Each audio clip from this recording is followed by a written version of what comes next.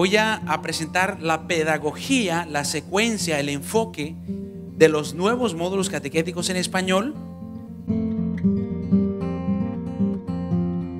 darles el propósito de lo que estamos haciendo, ¿verdad? Estamos entrenándolos a ustedes para que ustedes se vuelvan, ¿qué? Instructores de módulos.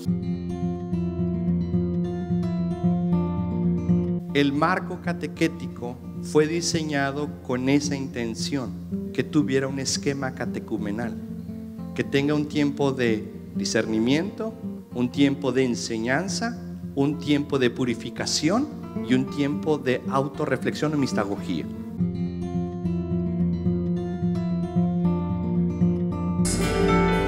Te adoramos,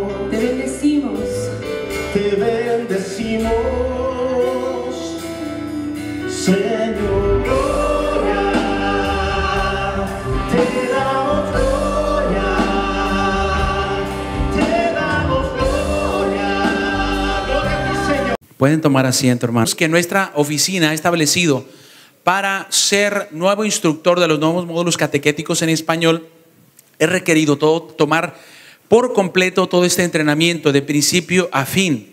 Entonces, eh, cuando usted entra, le marcan su asistencia, le entregan su gafete con su nombre y a la salida también se marca esa asistencia. Que la salida sea puntual, sea puntual. De hecho, en los intermedios, más hacia la hora de la comida, asegúrense que cuando sea la hora de regresar aquí a la, a la- al entrenamiento, eh, lo hagan en el tiempo adecuado, lo hagan en el tiempo adecuado. Eh, durante las clases, claro, si necesitan utilizar el servicio, pero llamadas por teléfono afuera, que el cafecito, no le vamos a decir absolutamente nada, pero sépase que vamos a tomar nota, ¿ok? No le vamos a decir nada, pero llamadas por teléfono allá afuera, que el cafecito, que el jijiji, jojojo. No le vamos a decir nada, pero si al final no aparece usted en la lista, va a estar todo ahí con nota, con nota, ¿ok? Eh, es importante decir eso porque requerimos que en efecto desde principio a fin tomen todo este entrenamiento. Quiero agradecer y voy a eh, invitar nuevamente aquí con nosotros, estuvo con ustedes el día de anoche, yo agradezco la, gentileza y la generosidad de él. Eh, desde que yo llegué a esta oficina, él ha sido para mí un apoyo fundamental, eh, muchas cosas que he aprendido, yo se los he dicho, y como se dice, no tengo inconveniente alguno en volver a repetir que yo en la catequesis, eh, ¿cómo se dice? Sigo aprendiendo mucho, pero cuando llegué a la oficina estaba en ceros, ¿no? Estaba en ceros. Es como cuando tú vas a la universidad, ¿verdad? Te preparas como ingeniero y cuando llegas al trabajo dices, pues esto no me lo enseñaron en la escuela, ¿verdad? Pues así es, así es. Muchas cosas del ministerio y de la pastoral, así sucede a veces, ¿no? Eh, y bueno, él, él, él, ¿cómo se dice? Siempre me ha tendido una mano amiga, me ha brindado su confianza, su apoyo. Eh, eh, el día de anoche, este, él, él me ha cubierto también y quiero invitarlo nuevamente para que regrese aquí con nosotros y quiero que recibamos con mucho cariño, con mucho amor a Juan Carlos Moreno. Gracias, hermano, gracias. Gracias. Muy buenos días, ¿cómo estamos?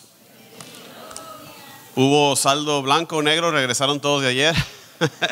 no perdimos a nadie. ¿Estamos bien? Unas, unas palabras preliminares antes de comenzar con el tema. Como les dije ayer, eh, reiterarles el propósito de lo que estamos haciendo, ¿verdad? Estamos entrenándolos a ustedes para que ustedes se vuelvan, ¿qué? Instructores de módulos. Entonces, quería recordarles eso, esa mentalidad. No nada más están aquí. No, no se espera de mi parte que ustedes estén siendo iluminados de manera inmensa. ¿Por qué? ¿Para quién van dirigidos estos módulos? Para catequistas, ¿ok? Ustedes ya son líderes catequéticos, ya han tenido la formación, ya han tomado ustedes mismos los módulos, ¿verdad? Entonces, perdón, no quiero que, que vayan a pensar, ay, estas que estoy haciendo aquí está esto muy simple. No aprendí nada ayer, eso de la epiclesis y de paraclesis y no aprendí nada, ya eso ya lo sé. Ese es el punto, ya, ya sabemos que saben, ¿verdad? Le digo también esto para el tema de hoy, no vayan a pensar, "Ah, eso fue muy simple. No me estoy dirigiendo a ustedes como tal, ustedes ya deben saber lo que voy a decir hoy, amén. es lo que voy a decir hoy y lo que dije ayer ya deberían de haberlo sabido. ¿Verdad que vieron que aprendieron todavía dos o tres cositas, verdad? Pero seguimos siempre aprendiendo. Pero me explico el punto de que lo que voy a hablar el día de hoy, lo que hablé el día de ayer, ya ustedes deben de manejarlo como líderes catequéticos con el trayecto que han tenido de formación. Entonces parte del propósito es sí que aprendan, pero más bien que se vuelvan ustedes instructores para que ahora nos apoyen a dar estos módulos. ¿Queda claro? Excelente. El día de hoy el tema catequesis intercultural, un poquito diferente del de ayer. Recuerden ustedes que los módulos, lo que estamos haciendo son más bien habilidades, habilidades. El día de ayer, cómo integrar la parte litúrgica con la catequesis. El día de hoy, piensen ustedes una vez más en su papel como líderes catequéticos. Lo que estamos haciendo es dar una introducción únicamente. Estamos, hace cuenta que metiendo los deditos en el agua de la, de la alberca, o más bien en el mar tan inmenso que son cada uno de todos estos temas. Es únicamente una introducción y una vez más dirigida no al nivel de ustedes, sino al nivel de un catequista. Entonces, con todas estas cosas en mente, eh, ya para adentrarnos, ustedes saben, ya hay, eh, formación de otros niveles, está el diplomado, que de repente eh, algunos de ustedes ya están en eso. Entonces, cualquier pregunta sobre eso, con mucho gusto está Gerardo, está su servidor. El día de hoy vamos a comenzar entonces con lo que es la catequesis intercultural. Y una vez más, eh, comenzamos modelando lo que es la sesión y una vez más, como ayer, hacemos pausas entre lo que estamos haciendo para ayudarles ciertas indicaciones, ciertos tips, háganle así, lo hacemos por esto, todas esas cosas. Eh, otra cosa que ayer me, apuntaron antes de, darle comienzo, eh, ustedes tienen ya enfrente de ustedes un papel que dice módulos catequéticos, un folleto un par de personas me avisaron, ay, me perdí al principio. Bueno, este papel, las primeras hojas, en este caso específicos, una, dos, tres, las primeras tres páginas son preparación. Preparación para ustedes como presentadores del módulo, lo que tienen que saber para quién es, para adultos, cuánto dura, la idea principal, la pregunta esencial, etcétera, etcétera. Entonces, eso es para ustedes cuando antes de repasar y saber tener presente antes de presentar el módulo. Voltean entonces a la página 4 y ¿qué ven ahí ustedes arriba? Ahí comienza ya propiamente el plan de lección. Entonces, por si no eh, les habíamos dado un repaso todavía, ahí está el propósito. Entonces, les recomiendo, como les dije ayer, no se queden con ninguna duda. Ayer tuve la fortuna de preguntarle a unas cuantas personas, me compartieron eso, pero ahí es donde empezamos el día de hoy. Como les digo, no se enamoren de lo que tienen ahí enfrente porque puede que cambie. Ayer hicimos algunos ajustes, el día de hoy ya también tengo un ajuste que voy a hacer de entrada. Eh, se les va a proporcionar un, folleto renovado una vez que se haya editado con, con sus comentarios, la experiencia que tengamos el día de hoy. Muy bien, ahora sí, comenzamos modelando el principio de este eh, módulo que comienza como siempre en oración, que como siempre debe tener escritura, palabra de Dios presente. Y la primera modificación que le dije que ya tenía es que voy a leer actualmente, reflexionar sobre un eh, pasaje diferente de los que están ahí. Anótenme Hechos, Hechos 6, del 1 al 7. Lo vamos a incluir esto en la revisión. Pero para que sepan ustedes, Hechos de los Apóstoles 6, capítulo 6, del 1 al 7, es lo que vamos a estar eh, reflexionando. Entonces, una vez más, empezamos modelando la lección. Hemos hecho oración, pero como estamos modelando la lección, lo hacemos otra vez. Y nos ponemos de pie para esto, recordando que estamos siempre en presencia del Señor, en el nombre del Padre, y del Hijo, y del Espíritu Santo. Queremos darle gracias a Dios hoy, mañana y siempre por su grandeza, su misericordia con nosotros. Él nos ha mostrado su amor a través de tantas maneras diferentes. Tenemos todo lo que necesitamos. Tenemos el sol, las estrellas, la luna, la atmósfera, el aire, la naturaleza, los árboles, la vegetación, los animales. Todo lo que necesitamos Dios lo ha creado para nosotros, nos ha puesto en este hogar cósmico, en esta tierra en el cual nos ha dejado bajo su cuidado. Queremos darle gracias siempre. Tenemos tantas, tantas cosas que darle gracias a Dios que no podemos, no podemos nunca terminar.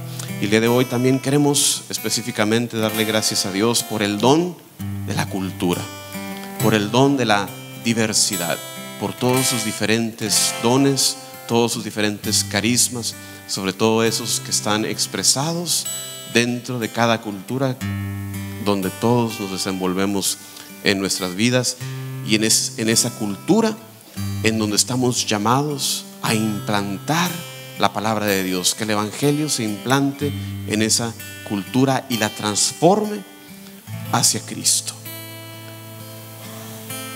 Vamos a escuchar la proclamación de la palabra de Dios del libro de los Hechos de los Apóstoles. En aquel tiempo, como el número de los creyentes iba aumentando, los de habla griega comenzaron a quejarse de los de habla hebrea, diciendo que las viudas griegas no eran bien atendidas en la distribución diaria de ayuda. Los doce apóstoles reunieron a todos los creyentes y les dijeron, no está bien que nosotros dejemos de anunciar el mensaje para dedicarnos a la administración. Así que, hermanos, Busquen entre ustedes siete hombres de confianza, entendidos y llenos de Espíritu Santo, para que les encarguemos este trabajo. Nosotros seguiremos orando y proclamando el mensaje de Dios. Todos estuvieron de acuerdo y escogieron a Esteban, hombre lleno de fe y del Espíritu Santo, y a Felipe, a Prócoro, a Nicanor, a Timón, a Parmenas, a Nicolás, uno de Antioquía, que antes se había convertido al judaísmo Luego los llevaron a donde estaban los apóstoles, los cuales oraron y les impusieron las manos. El mensaje de Dios iba extendiéndose y el número de los creyentes aumentaba mucho en Jerusalén. Incluso muchos sacerdotes judíos aceptaban la fe. Palabra de Dios. Escuchemos ahora, hermanos, un pequeño canto, un breve canto sobre la unidad y la diversidad juntos de la mano, juntos caminando con Jesús. No importa la raza ni el color de la piel, importa el amor. Juntos de la mano del Señor, juntos, unidos por su amor, dando testimonio que Jesús hoy vive en mí y en ti, para que el mundo crea, para que el mundo que Jesús está vivo y que reina en esta tierra. Caminemos con amor para que el mundo crea.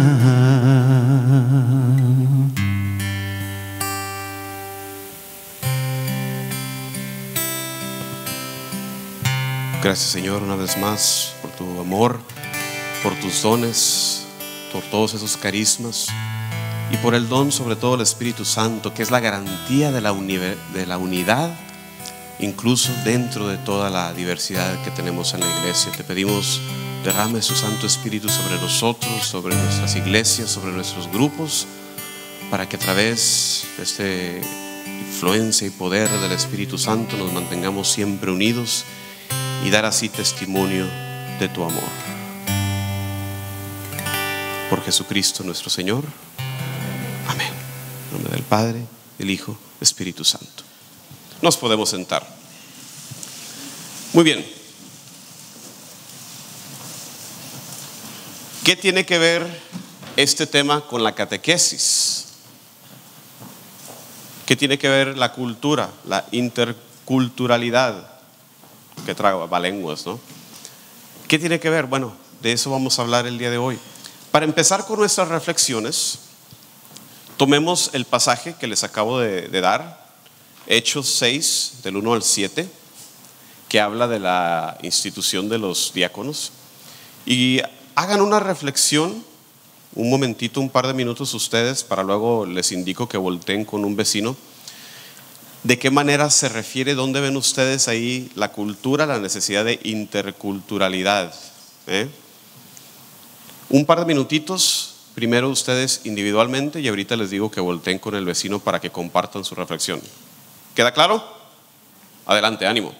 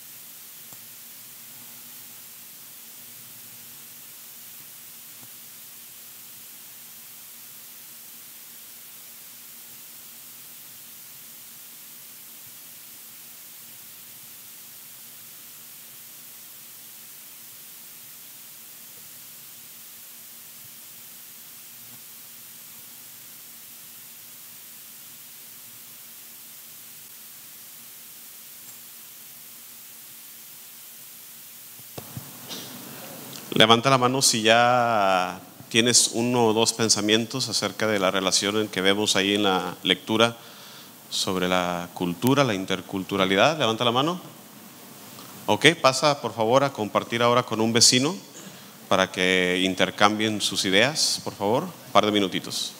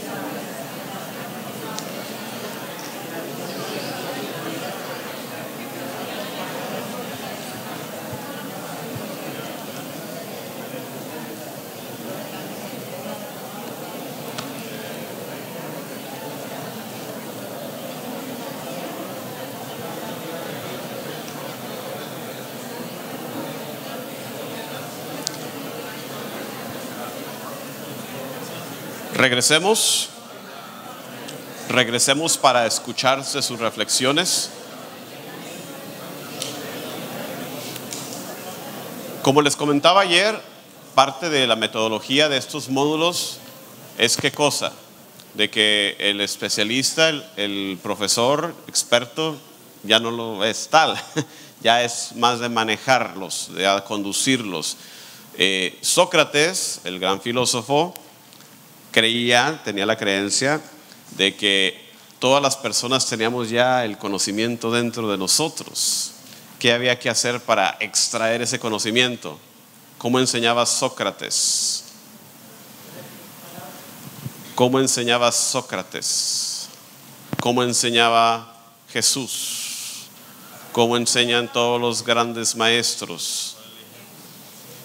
Haciendo preguntas. ¿Quién dice a la gente que soy yo? Y, y Sócrates, por eso el método socrático de Sócrates hacía un gran número de preguntas, hasta le caía mal a la gente, por eso al final lo mataron.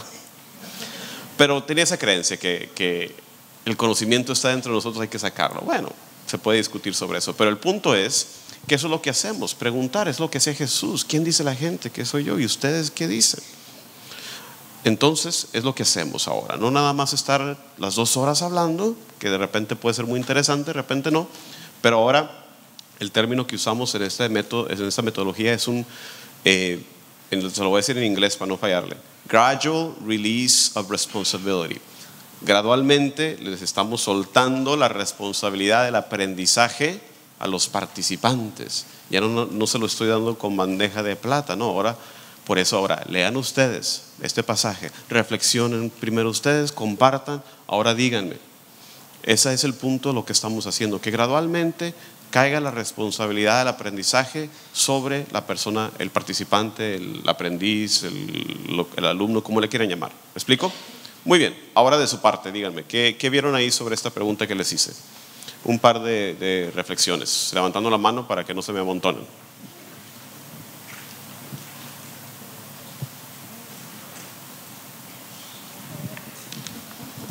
A ver, ahí atrás hay una ya. A mí me llamó mucho la atención el sentido de comunidad y aunque tenía, surgió una diferencia, eh, no se impuso algo, sino que llamaron a un consensus general para tener este, una solución. Pero al mismo tiempo, eh, ese enfoque a lo que es la oración, la apertura a escuchar, la apertura a buscar soluciones para un bien común Hermana Jackie. y la unidad sobre todo. Le diré que se fuera ya a su casa, ya está usted formada, pero la necesitamos aquí, quédese con nosotros. Muchas gracias. Muchas gracias. Una reflexión más allá atrás. Muy acertada, hermana. Allá atrás hay una más. Bueno, lo que entiendo de, de esta lectura habla de dos culturas diferentes, que era la cultura griega y la cultura hebrea. Este, había diferencias en la forma en que trataban a, las personas. Entonces, los, los apóstoles, para no distraerse de su, su actividad de ellos, que era proclamar la palabra de Dios, les pidieron que nombraran a personas que se dedicaran al servicio de la comunidad, que de ahí, bueno, pues es de donde vienen los diáconos. Este, pero hubo esa fusión de las dos, las dos culturas, Sí, aparte de los que eran judíos, los que se habían convertido al judaísmo. sí, muy bien, muy bien. Que nos quede claro, vamos a, a tomar un paso atrás. Que nos quede claro, ¿cuál era el problema? Por una mesa que pasé, y ese es otro propósito de ir caminando, como les dije ayer, es de, ir oh, escuchando las, diferentes comentarios que tienen las mesas. Por ahí decía una mesa, pues mira nomás cómo estaban las cosas antes. Mientras más pasa el tiempo, las cosas están igual, menos, menos cambian las cosas. Eh, ¿Por qué? Porque fácilmente podemos vernos reflejados ahí, ¿verdad? ¿Qué es lo que está pasando aquí en el pasaje? La primera generación de cristianos, ¿de qué tipo de cultura son? ¿De qué origen tienen? Judíos completamente. Jesús, María, los doce apóstoles, los autores de las Sagradas Escrituras, menos Lucas. Lucas se cree es el único que era a lo mejor eh, de origen griego todos los- la primera generación judíos, con esa cultura, con esa perspectiva. Entra entonces, es- empieza a esparcer la palabra de Dios porque el designio de Dios era siempre el llamado a la salvación es para los judíos nada más, es para hay lo que los teólogos llaman la voluntad universal salvífica de Dios, que en fancy palabras quiere decir Dios quiere que todos se salven, ¿verdad? Un- voluntad universal salvífica de Dios.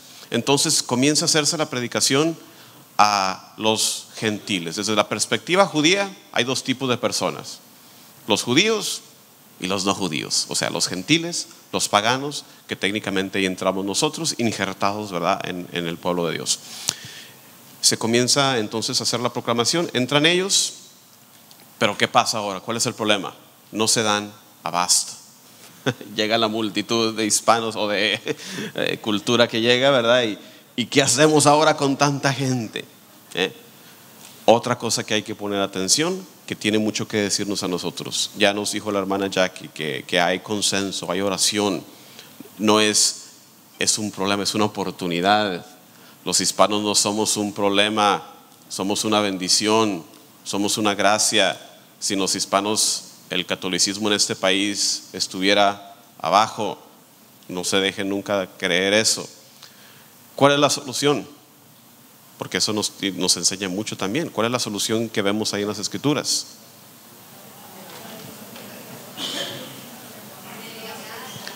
Hay delegación, ok, muy bien. ¿A quién, qué tipo de personas se les delega?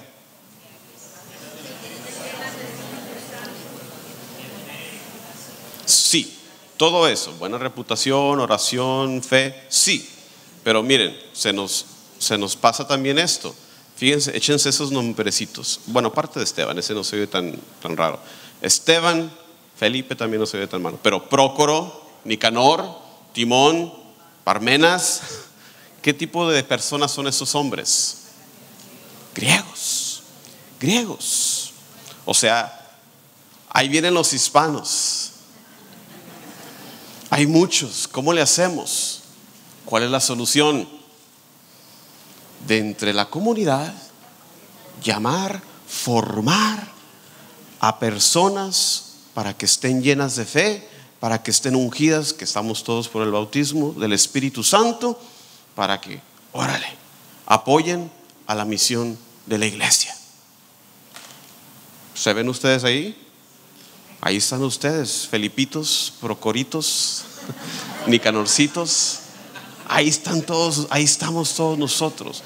Ahí está la solución. Ahí estamos y están ustedes respondiendo a esa necesidad de esta oleada de humana, de hermanos que estamos aquí y que no nos vamos a ir a ningún lado. Y no vamos, eh, eh, muchas veces nos quieren cambiar el idioma, bueno, porque así lo hicieron ellos, pero nosotros somos diferentes. Nosotros no queremos abandonar nuestras costumbres, nuestro lenguaje.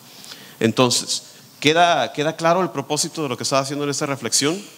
De ver cómo nos vemos reflejados ahí, lo que hizo la iglesia, la respuesta y nuestro llamado entonces, que, que ya lo están ustedes viviendo, no necesito decírselos, ustedes están viviendo, ustedes han respondido igualmente como estos hombres al llamado de la iglesia a servir. Amén. ¿Alguna pregunta, algún comentario? Otra cosa que quizás no les dije ayer, den espacio, como sí lo hice, pero no, no, lo, no lo enfaticé. Den espacio durante sus módulos para hacer preguntas. ¿Hay alguna pregunta, algún comentario? Y dejen transcurrir al menos 25 segundos, porque ¿qué hace mucha gente? ¿Hay preguntas, comentarios? No, qué bueno, vamos. No. Denles oportunidad a la gente a que eh, se muevan, ¿verdad? La, la ruedita, que el, ratoncito, el hámster le dé vueltas a la, a la ruedita cerebral. Eh, entonces, a través de la lección, den espacios. Cuando ustedes den un tema, hagan algo, hagan un espacio. Hay preguntas, comentarios, recetas de cocina, cosas así. Bueno, ya pasó la tamalada, así que ya, ya no hay de eso, ¿verdad? Muy bien, entonces les recomiendo que, que hagan ustedes eso a través de la sesión. Para la siguiente actividad vamos a tener ahora un, video. Les dije ayer que siempre que toquen alguna canción, multimedia, cualquier cosa, asegúrense de introducirlo, de decir cuál es el propósito. Vamos a ver un video del Padre Núñez sobre la diversidad.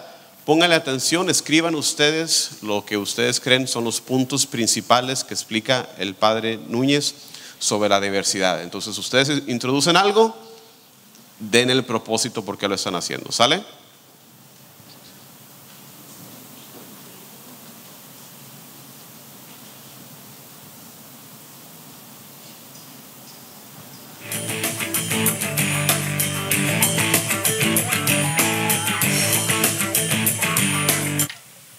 Padre. Bendito Dios que nos da la oportunidad de tener estos programas a través de los cuales conocemos nuestra fe. Quisiera que me aclarara por qué San Pablo habla de unidad en la diversidad. ¿Cómo se da esto en la iglesia? Atentamente, Ángel. Ángel, gracias. Y pues eh, San Pablo habla de la necesidad que tenemos como cristianos de unirnos. Primero que todo, Y esto viene de las enseñanzas del mismo Jesucristo. En el Evangelio según San Juan, capítulo 17, versículo 21, Jesús dice, orándole al Padre, Padre, que todos sean uno, como tú y yo somos uno. Entonces el mundo creerá que tú me has enviado. San Pablo en diferentes pasajes de la Biblia habla de la importancia de la unidad y dice él que todos hemos bebido, todos cuando habla de todos está hablando de todos los que hemos sido bautizados, hemos bebido del mismo espíritu, es decir, hemos recibido al Espíritu Santo y por lo tanto somos uno en Cristo Jesús. Y de ahí la palabra de Dios, San Pablo, que nos habla de la diversidad en la unidad. Estamos llamados a ser uno en Cristo Jesús. También San Pablo habla de la unidad de los talentos que hemos recibido, que los debemos de poner al bien funcionamiento de la iglesia, para así edificar la iglesia, que cada cual tiene talentos, cada cual tiene habilidades, y si todos nosotros pues cooperamos, pues no solamente vamos a edificar la iglesia, pero vamos a hacer, sin lugar a dudas, de este mundo uno mejor. La palabra de Dios, por ejemplo, en 1 Corintios, la primera carta de San Pablo a los Corintios, capítulo 12, Versículo 4 en adelante dice San Pablo, hay diferentes dones espirituales, diferentes, es decir, diversos, diferentes dones espirituales, pero el mismo espíritu. Hay diversos ministerios, es decir, pues diferentes, pero el Señor es el mismo, es uno solo, ¿verdad? Diferencia, diversidad, pero unidad al mismo tiempo. Hay diversidad de obras diferentes, pero es el mismo Dios quien obra en todos nosotros. Y termina San Pablo, el versículo 12 dice, las partes del cuerpo son muchas, pero el cuerpo es uno. Diferentes partes y cada una pues es diferente a la otra. Incluso las manos, una es diferente a la otra. Incluso nuestras huellas digitales, cada una es diferente, pero somos uno en el mismo cuerpo. Y dice San Pablo, por muchas que sean las partes, todas forman un solo cuerpo. Así también Cristo. Hemos sido bautizados en el único espíritu y forma- formamos parte de un solo cuerpo. Ya fuéramos judíos o griegos, esclavos o libres, todos hemos bebido de un único espíritu. Así que eso es lo que significa unidad en la diversidad. Somos todos diferentes, lucimos diferentes, venimos de diferentes países, hablamos diferentes idiomas, pero al fin y al cabo, al ser bautizados, somos uno en Cristo Jesús. Tenemos un mismo papá, que es Dios, y por lo tanto todos somos hermanos. Si reconociéramos esa realidad de que somos hermanos, de que tenemos un mismo Padre, que es Dios, yo creo que nos veríamos de una forma diferente. Yo creo que ya no habría tanto antagonismo entre las personas, no habría tanta discriminación entre las personas, no habría tantas envidias, tantos celos, no habría tanta división entre los seres humanos. Y al fin y al cabo, pues eso es lo que nos invita el Señor. Que nosotros nos comencemos a ver de una forma diferente, que reconozcamos que todos nos necesitamos unos de otros y que al fin y al cabo todos somos hermanos porque todos tenemos un mismo Padre que es Dios. Qué hermoso, muchísimas gracias por esa pregunta y ojalá que esta respuesta pues haya ayudado en alguna forma en estos momentos.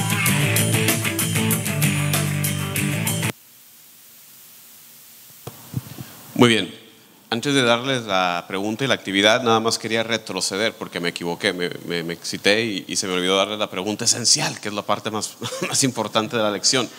Eh, así como lo, lo hicimos ayer al principio de la sesión, se les comparte a los participantes. La razón que estamos aquí en este módulo es para contestar esa pregunta. ¿Por qué?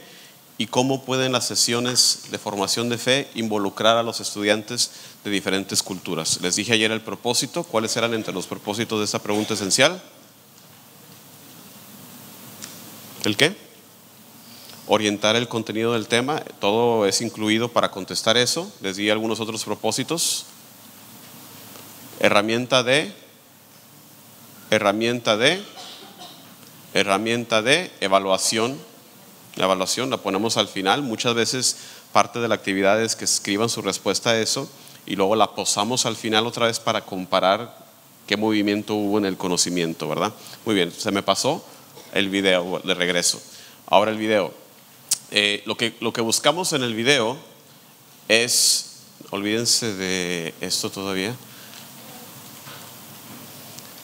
anoten en sus respuestas, reflexionen, ¿por qué la iglesia, y de acuerdo a lo que vieron en el video, de acuerdo a lo que saben, por qué la insistencia en la unidad ¿Por qué, le- por qué la iglesia insiste en la unidad? ¿Y cuál es el fundamento de esta unidad? Un minutito para que ustedes hagan eco de lo que escucharon en el video y lo escriban. ¿Por qué la iglesia insiste en la unidad? ¿Y cuál es el fundamento de la unidad?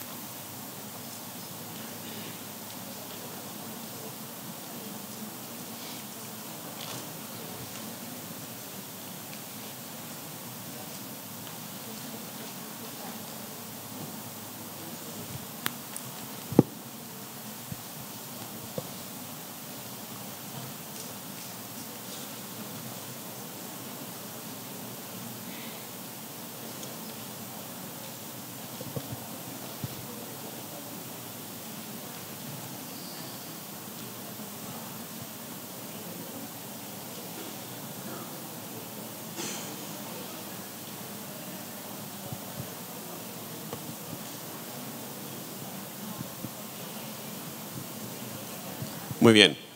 Ahora que ya formulaste esto y, y creo que ya puedes ver el proceso, ¿por qué anunciamos el video? Para que estén, porque si pones el video no dices nada y luego haces una pregunta, ah, pues ni le puse atención. a- Por eso anuncias el propósito para que vean el video con eso y luego pones la pregunta para que ya lo tengan en mente. Y ahora vamos a compartir ah, una vez más con un vecino. Comparte tus ideas de lo que tú has respondido a, a la pregunta de por qué la insistencia en, en unidad y el origen, el fundamento de esta unidad. Un par de minutitos para que compartas con un vecino, una vecina.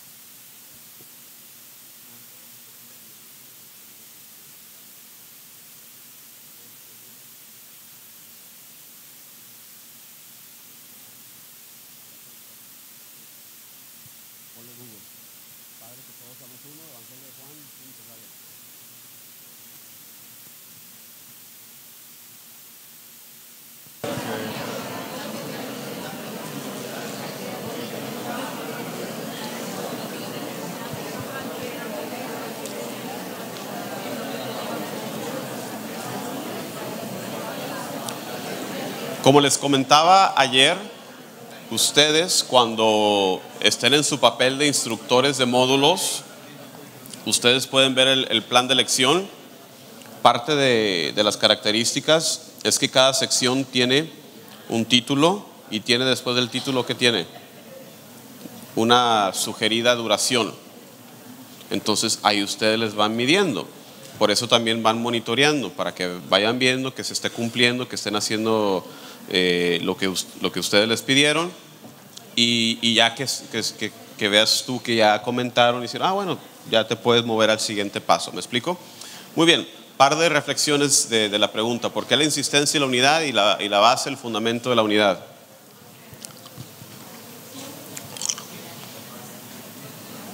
A ver, aquí. Aquí tengo uno menos enfrente. Somos el cuerpo de Jesucristo y en Jesucristo por el bautismo estamos unidos, aunque seamos de diferentes culturas. Somos la respuesta de la oración de Jesucristo, Padre, que todos sean uno, como tú y yo somos uno. ¿Por qué la insistencia en la unidad? Porque Jesús lo hizo con mucha insis- lo insistió también. Pero bueno, ahorita vamos a ver si agarramos otra respuesta también. Otra. ¿Qué le parece? Porque en la unidad fomentamos y acrecentamos el amor entre nosotros. Y, y este es el mayor mandamiento que nos dejó el Señor, que nos amemos los unos a los otros para que formemos un solo cuerpo en Cristo. Amén. Fundamento. Muy buenas respuestas. Eh, obviamente estamos nada más agarrando la, esa superficie. Eh, fundamento. Ah, pues el fundamento es Cristo y, y bueno, en sí es toda la unidad en Dios, vernos todos como hijos de Dios y ahí entran todos los otros credos y religiones también, ¿no? De que hemos de mirarnos como hermanos todos, hijos de un solo Padre. La unidad obviamente está modelada en la unidad de Dios. Unidad en la diversidad de tres personas. Un solo Dios en tres personas. Dios Padre, Dios Hijo y Dios Espíritu Santo. Entonces hemos, hemos hablado de, de la insistencia, la razón, la, el or- la orden de Jesucristo, el modelo de Jesucristo, la insistencia de Jesucristo, la necesidad, bueno, se puede vivir en una familia, en un grupo, en una compañía, mucho menos en una iglesia desunidos. No, tiene que haber unidad. Eh, y entonces tenemos que realizar eso tanto intelectualmente como en el corazón. La unidad de Dios. Cuando entra, eh, cu- ¿cuál es el fundamento de la fe judía, hermanos? ¿Cuál es roca sólida, principio fundamental de la fe de los judíos? No es la oración, la oración es el fundamento de la fe de los judíos.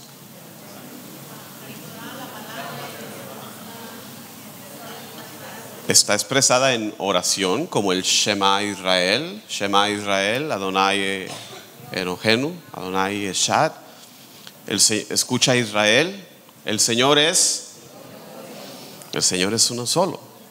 Y los mandamientos, amarás al Señor tu Dios con todo. Sí, entonces el fundamento es la unidad de Dios. El Señor es uno, porque en las culturas alrededor de ellos, ¿cuántos dioses había? Tiene consecuencias muy grandes lo que creemos, hermanos. Tiene consecuencias enormes. En tiempos de los patriarcas, ustedes pueden ver y verificar, incluso Abraham, Moisés, bueno, Moisés no, pero Abraham, Isaac, eran, eh, tenían varias esposas, ¿sí? ¿El día de hoy tenemos varias esposas? Bueno, no debemos.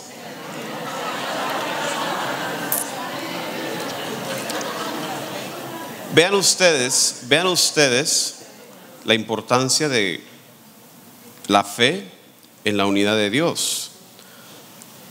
¿Por qué cambia la perspectiva? ¿Por qué cambia esta práctica? Porque viene la predicación de los profetas, viene la corrección, empezando con el profeta Oseas, que nos da esa imagen de que Dios es uno, el pueblo de Dios, ¿cuántos pueblos de Dios hay? El pueblo es uno.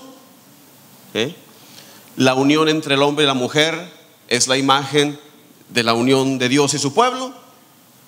Entonces, ¿cuántos esposos y cuántas esposas deben de ser si estamos modelando a Dios? Y se acaba la poligamia. De a partir, ustedes verifiquen en sus Biblias, a partir del periodo de los profetas, de la predicación, cesa eso. Modelado en la unidad de Dios, en la unidad del pueblo. Entonces, estas ideas tienen grandes consecuencias. Si viviéramos todos con fe la realidad de que Dios es nuestro Padre y que todos somos sus hijos, pues nos convertiríamos y nos consideraríamos verdaderamente hermanos, cambiaría el mundo. Si verdaderamente viviéramos estos conceptos verdaderamente en fe. Entonces, ahí está la, importancia, el fundamento es Dios. ¿Alguna pregunta, algún comentario?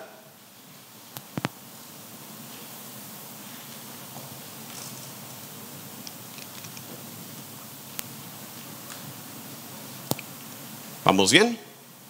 Otra cosa que, eh, que deben hacer y está programado en sus folletos es un descanso. Ayer los castigué. Eh,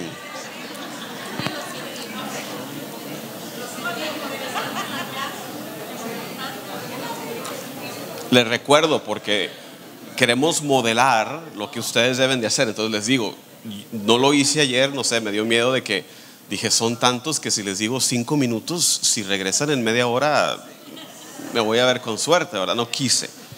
Eh, ahorita veo cómo se siguen portando, ¿verdad? Para... Bueno, yo les doy un descanso y Lalo ve después. Si se portan mal y no regresan en la hora indicada, Lalo ahí los castiga él, ¿ok? Bueno, pero tenía que mencionarlo, no, no los castiguen ustedes a sus participantes. Él Está programado, está programado en el plan de elección 10 minutitos de descanso. Y, es lo que nos dice también los, los estudiosos sobre cómo aprende la gente. Tienes que darles descansos.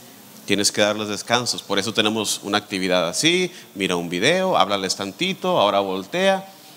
¿Mm? Sobre todo hoy en día que estamos todos ADD, HDD, todos con el teléfono, ¿va? Hay, que poner variedad, hay que poner descansos humanamente, propiamente. Así que les digo, a mí me entró miedo y no quise darles descanso ayer. Muy bien. Para nuestra siguiente actividad, vamos a entrar ahora a, a reflexionar lo que es cultura. Si están siguiendo ustedes, if you're keeping score at home, en su plan de lección donde dice explicar e informar, que les dije ayer es la sección más amplia de, de catequesis. Ahí, si estás ustedes modelando eh, el catecumenado, dijimos que es el catecumenado propiamente, donde está la instrucción. Empecemos con lo que dice ahí. La actividad es, nos pide el plan, el de preguntarles a ustedes que escriban, entonces vamos a seguir el mismo proceso. Preguntarles que individualmente escriban, ¿qué entienden ustedes por cultura? ¿Qué es cultura? Y luego compartimos y luego compartimos en público. Ese es un proceso que seguimos mucho en estos planes de elección, muy propio, eh, para que haya ese, ese movimiento. ¿Tiene sentido todo esto? ¿Por qué lo hacemos? Y, ya, ya, le, están agarrando el ritmo de, de cómo lo hacemos. ¿Sí? Muy bien. ¿Qué es cultura para ustedes? ¿Qué te viene a la mente? Simplemente escríbelo eh, individualmente, personalmente, un par de minutitos y ahorita les digo que volteen al vecino. ¿Sale? Adelante.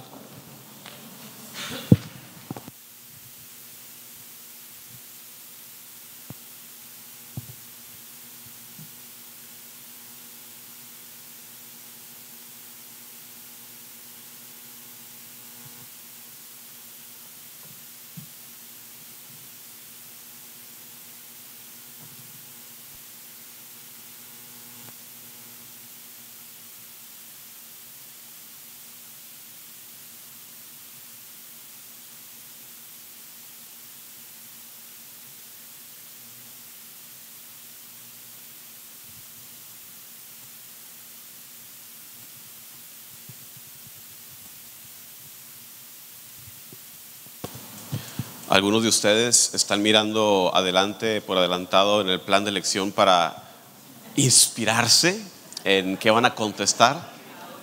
Bueno, bueno, les digo, ya, ya se están tropezando ustedes mismos, están haciendo zancadilla ustedes mismos si le están consultando a Google, si le están consultando al catecismo, no. Primero, pues, ¿qué traemos nosotros? ¿Qué entendemos? Sáquenlo, ¿verdad? para después aumentarlo, corregirlo, lo que sea necesario. Pero no se hagan trampa ustedes mismos buscando la respuesta más adelante, ¿ok?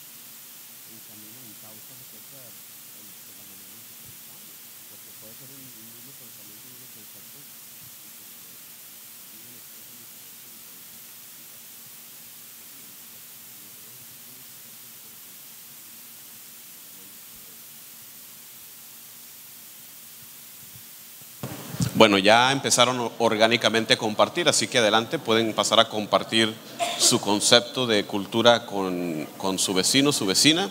Un par de minutitos para hacer esto.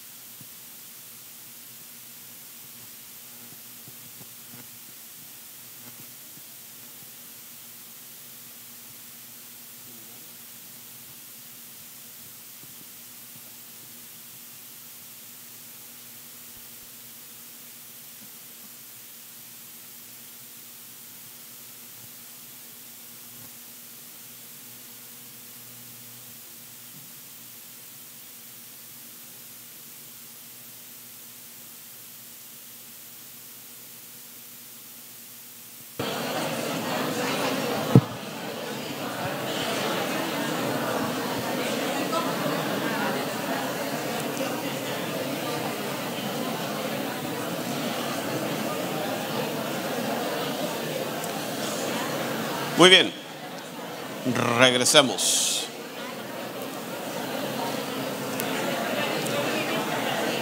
Muy bien, un par de reflexiones. Ya tenemos, ya tenemos aquí al frente Hermana, levante la mano para que la identifique. Aquí nos va a compartir su perspectiva de lo que usted haya escrito o de lo que haya oído.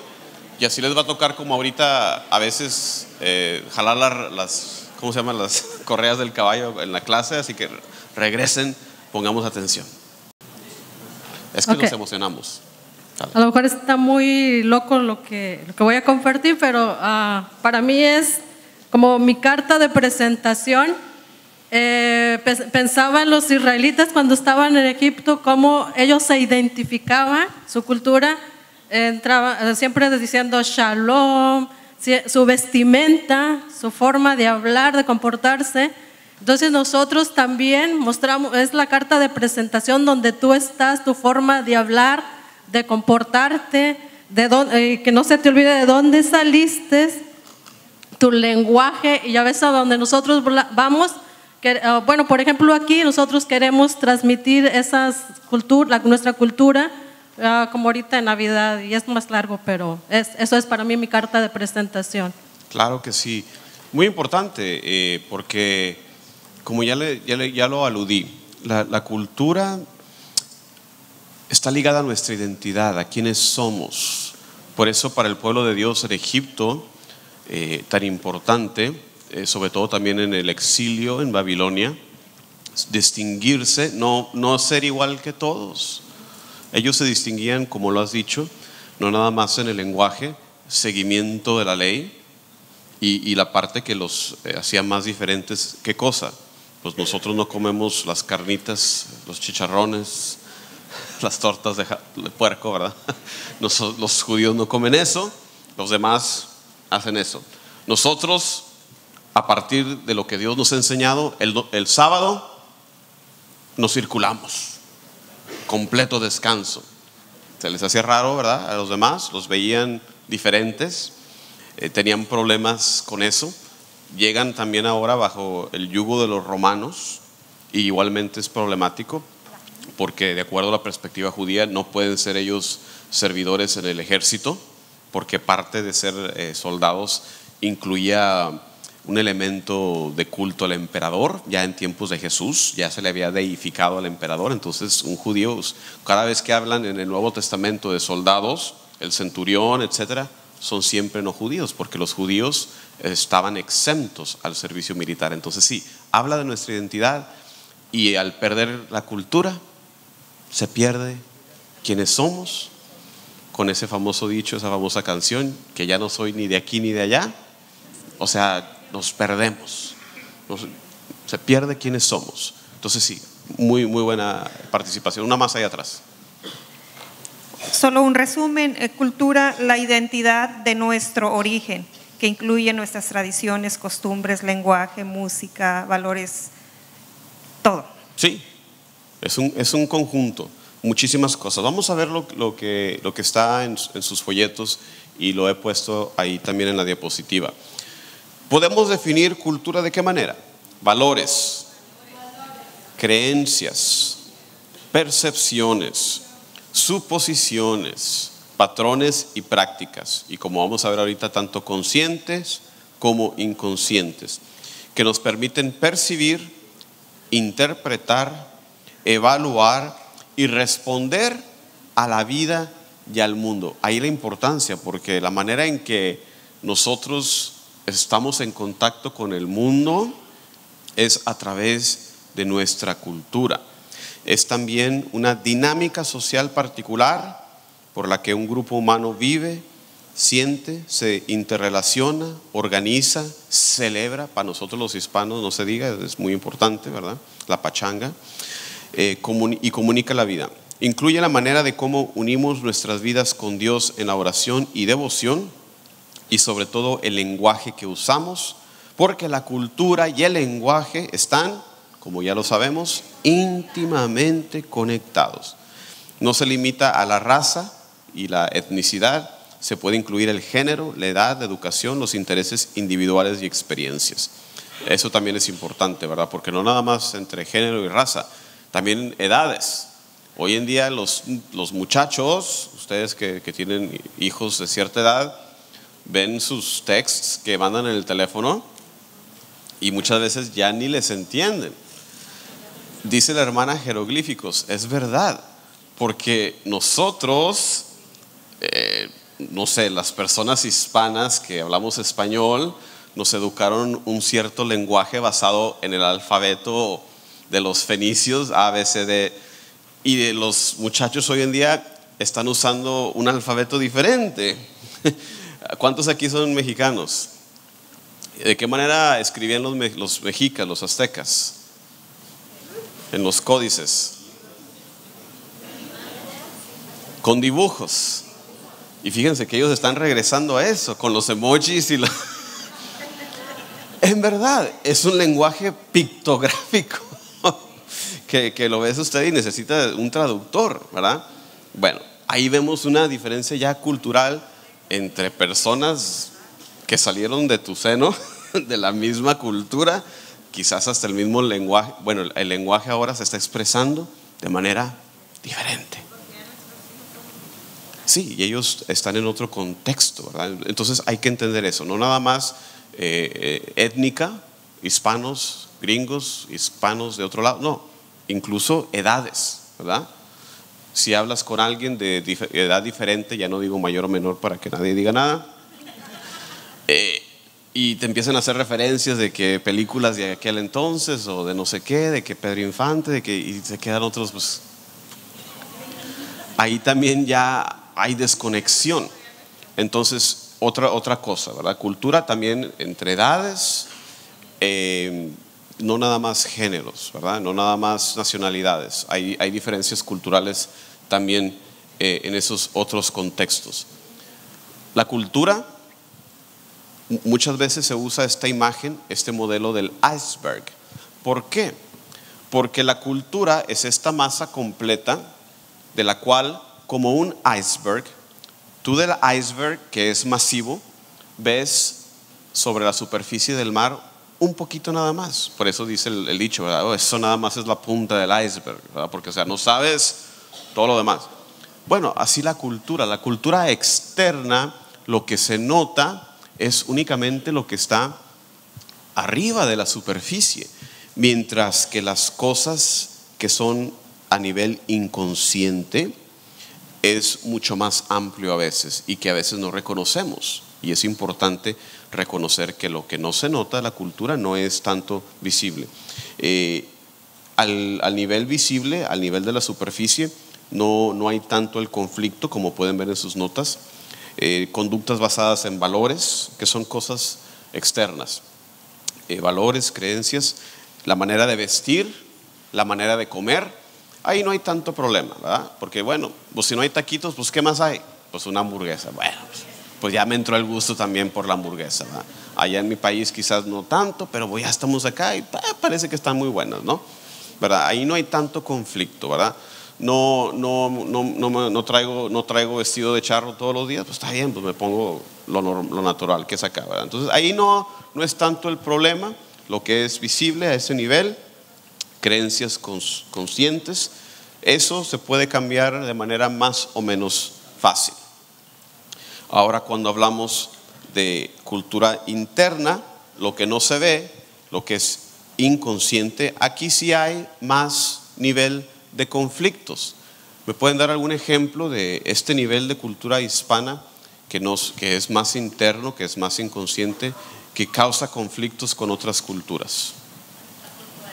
Amén, amén, amén. El concepto, yo digo que latino, porque incluye países como Italia, a Italia también, no olvídate del de la hora, eh, España también más o menos, entonces es más como del- de la cultura lat- latino y hispano. Es un concepto muy diferente, muy, mucho más elástico, ¿verdad? Mucho más, no sé, mientras que culturas como la de Estados Unidos, que es más germánica, ¿verdad? Que, que es más diferente, ¿no? Tú dices empezamos a las 8 y se empieza a las 8. Ya aquí con, con ustedes que han estado en estos programas, yo sé que al principio que empezaron eh, los programas de formación, el porcentaje de personas que llegaban pues no tan temprano, me imagino era lo que era un poco más alto, ¿no?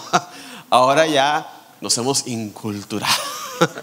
hemos, hemos ya aprendido, ¿verdad? Eh, allá en México también la misa empezaba, eh, pues empezaba cuando el padrecito ya... No, aquí a las 8 con 1 ya, llegas a las 8 con 5 y ya, ya te perdiste de, de la primera lectura y todo eso, ¿verdad? Así que sí, plenamente, plenamente, la puntualidad es algo que causa conflictos. Y podemos dar muchísimos ejemplos. eh, eh, la manera de comunicarse, el ser más abiertos, eh, incluso la manera de saludar, ¿verdad? Que nosotros los hispanos, pues más guapachosos, más véngase para acá, eh, otras culturas más frías. Sí, todo ese tipo de cosas. Ahora, ¿algún, ¿alguna de las dos maneras o tres o cuatro culturas es mejor que la otra? No, son simplemente diferentes, diferentes. Hay que apreciar eso, porque ¿qué pasa? ¿Cu- ¿Dónde viene el problema? Pues cuando nos enfrascamos, ¿verdad? Yo, esto, eh, ah, relájate, nadie llega a tiempo. Pues ponte a pensar que ellos sí están acostumbrados a llegar a tiempo. Y por el otro lado, digo, ay, estos que llegan bien tarde no les vale que es. No, entiende aquí a los otros hermanos que para ellos el concepto es un poco más elástico. Hay que haber una comprensión.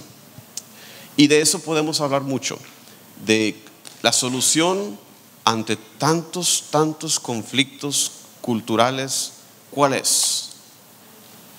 ¿Qué debemos hacer? ¿Cómo debemos, cómo solucionar estos conflictos? ¿Cómo se puede ameliorar la situación? Respetando, comunicando, poniéndonos en los zapatos de la persona. Déjenme les cuento algo que, que- que aprendí. Eh, tomé una clase de evangelización y cultura cuando estaba en la formación en, una de las maestrías, muy interesante. Ahí aprendí un poco de la evangelización en México, ¿verdad? Ustedes saben, eh, conquistador principal en México, Hernán Cortés, pero como él había otros varios. Eh, aprendí de un personaje, díganme ustedes si lo han escuchado, Cabeza de Vaca. Él estuvo por aquí, estuvo aquí en Galveston. A él se le denominaba el conquistador gentil, el conquistador, no sé cómo decirlo, amable, caballero. ¿Por qué? ¿Saben la experiencia de Cabeza de Vaca? Él, como todo conquistador, buscaba enriquecerse y buscar, tú sabes, la fuente de, de- de toda la riqueza que estaba escondida. bla. Bueno, en una de esas agarra, se embarca, naufragia por allá por la costa de Florida, se pierde, de- de- mueren la mayor parte de sus compañeros, lo agarran los nativos, se escapa, lo agarran otros. Como les dije, llegó a estar hasta acá, hasta Galveston. Pero ¿qué sucede con él? Tuvo la experiencia de vivir por muchos años entre la gente nativa. Al él finalmente salir de- de estar viviendo con ellos, que ya al final ya no estaba ni como prisionero, ya estaba tranquilo. ¿Qué hace él después de eso? Se vuelve un abogado defensor para defender los derechos, la humanidad, la dignidad de los nativos. ¿Por qué? Porque tuvo el encuentro, palabra clave aquí, encuentro, porque no llegó como los demás. Los españoles, ustedes saben, llegaban, llegaban al punto más alto de, la población de la ciudad y plantaban el banderín y les decían, no en español si quieren, en latín, les decían, en el nombre de la reina Isabela y de no sé qué, y en la fe de Jesucristo, reclamamos esto y aténganse y el que no, ahí les va. Y en latín y los nativos allá abajo, ¿qué? o sea, ¿what? No le entendían, ¿verdad? Pero eso era lo que hacían, simplemente llegaban a imponer. ¿Qué diferencia cuando la perspectiva es diferente? Cuando se vive en los zapatos de la otra persona, como lo hizo este personaje, este conquistador gentil, cabeza de vaca, que se convierte entonces, habiendo vivido entre los nativos, entre los indígenas, se vuelve entonces defensor de la dignidad de los mismos. ¿Mm? ¿Por qué? Porque tuvo la experiencia de encuentro. ¿Qué nos dice eso a nosotros? ¿Qué tenemos que hacer? Fue lo que hace Dios. Hermanos, el primero y mejor ejemplo de inculturación, ¿cuál es? Cristo de qué manera? Encarnación. En la encarnación. ¿Por qué?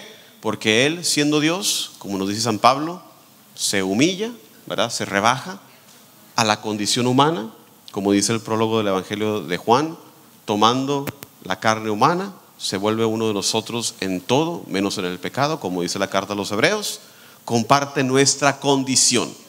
Ahí está otra vez, el encuentro. Viene a nosotros. Dios que nos ama viendo la imposibilidad de que nos- uno mismo no se puede salvar. ¿Usted mismo se puede salvar, hermano? Tú mismo te echas el agua bautismal y dices, yo me bautizo. No, tuvo que venir Dios a darnos el salvavidas. Entonces la encarnación es el primero y el excelentísimo modelo de la inculturación. Y por eso estamos nosotros aquí aprendiendo y animándolos a ustedes a igualmente encontrarse con otras culturas, ¿verdad? ¿Qué más tenemos aquí? Ah, siguiente actividad. Eh, otra parte de la lección, explicándoles cómo trabaja esto. Su- sus folletos, cuando se les van a dar, incluyen lo que ya les dije, la preparación, plan de lección y en muchos de los casos, como van a ver aquí, si tú le das la vuelta a la página 9, empiezan folletos, handouts. ¿Ok? Entonces tú tienes eso en tu plan de lección como instructor, pero a la hora de ir a dar la clase, tú no les vas a dar las otras hojas a los participantes. Lo estamos haciendo aquí con ustedes porque lo estamos, los estamos entrenando a ustedes cómo ser instructores. Entonces ustedes tienen el plan de lección, el plan de ataque, ¿verdad? A los participantes, ustedes, eh, o de preferencia, bueno, muchos de ustedes lo van a hacer en su parroquia, pero si es en otra parroquia, la otra parroquia debe de imprimir un set de estos folletos para los participantes. De manera que tú les dices como instructor, como les digo yo, ok, la siguiente actividad está en sus folletos, volteen al folleto, nos dice ahí, dice en su plan de lección, empezando en el C, D, E. Entonces, si ustedes ven su plan de lección, eh, en, un, en un momento dado dice que eh, los participantes repasen esas, esas gráficas con el propósito de reflexionar la situación en la que nos encontramos. En la página 6 dice, actividad, ver folletos C, D y E, mirar cada una de las gráficas y conectar esto con la realidad pastoral de los participantes y vamos a hacer comentarios. ¿Ven, ven lo que les digo en la página 6, donde dice actividad, la primera actividad, ver folletos, página 6. Sí. ¿Me explico? Ahorita les estoy hablando como instructores, ¿verdad? Como instructores futuros, para que no pierdan el, el paso. Entonces, eso es lo que vamos a hacer, eh, página 6.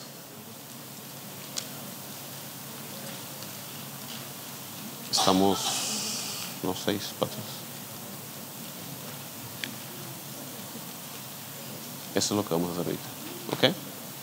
Para que ustedes orienten, como les digo, el propósito aquí no nada más enseñarles, sino orientarles como instructores. Estamos en la página 6. Entonces, lo que vamos a hacer es lo que dice ahí en la primera actividad: ver esos folletos C, D y E, mirar las gráficas. Entonces, su actividad, ahora sí, participantes otra vez, pónganse el sombrero. Vamos a ver las gráficas C, D y E con el propósito de reflexionar sobre tu propia realidad pastoral en tu parroquia, si refleja lo que dicen esas gráficas. Vamos a tomar un minuto para luego, después de hacer esta reflexión personalmente, vamos a voltear con el vecino una vez más. ¿Todos sabemos lo que vamos a hacer? ¿Hay necesidad de repetirlo? ¿Todos sabemos? ¿Tienes, eh, cuando das instrucciones verbales, usualmente tienes que repetirlas dos, tres veces mínimo. Muchas veces se recomienda que lo pongas también en, las diapositivas, si es posible, porque si no te escuchan la pueden ver. Pero otro tip que les puedo dar como instructores es que si van a dar instrucciones verbales, repítanlas varias veces. Sobre todo aquí en un grupo que hay, no sé, 150, pues de los 150 no va a faltar dos o tres hermanitos que estaban pajareando o, o les llegó un mensaje o lo que tú quieras, ¿verdad? Eh, hay que repetirlo varias veces, ¿sale?